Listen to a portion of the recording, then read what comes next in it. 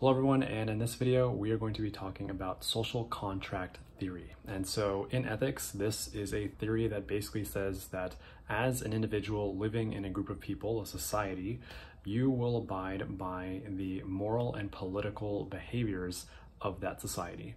And so to add some examples here to kind of hit home what this really means is like if you are a student in a classroom and you raise your hand, there is an implicit social contract that the teacher would pause for a second and call on you to answer a question or ask a question.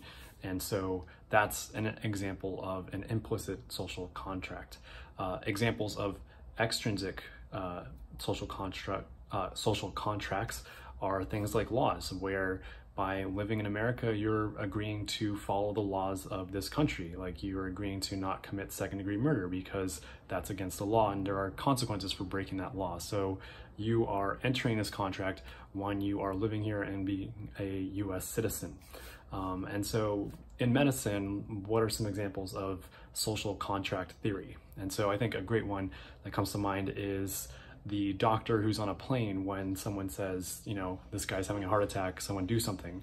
And so by law, the doctor is not required to do anything. Even if there was a doctor on the plane, the doctor by just sitting there, even though they're fully qualified and, you know, might know exactly what medication to prescribe or what intervention to do in a given moment, they are not legally required to do this. So there's no extrinsic uh, social contract here, but there is the intrinsic social contract in that people have an expectation that as a doctor in society, you're someone who's going to step out of your way to help somebody when they need it because of your skill set and the responsibility that you take on for being a doctor. So that is what we would call an intrinsic social contract in that these doctors have expectations on them placed by society that by being a doctor in America or whatever country you're in, but that let's stick with America for now, um, that you know you're someone who will help someone who needs it when the time comes, and it's not by law, it's by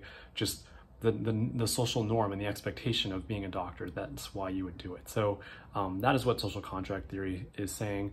I hope this is helpful. Thank you all for watching. Let me know if you have any questions, and I'll talk to you guys next time.